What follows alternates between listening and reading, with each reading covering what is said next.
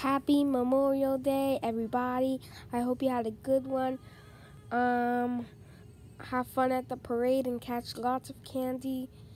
And I'm still remembering the soldiers that died from the Civil War. So, yeah, happy Memorial Day, everybody. And I will see you in the next video coming this June to a place near you.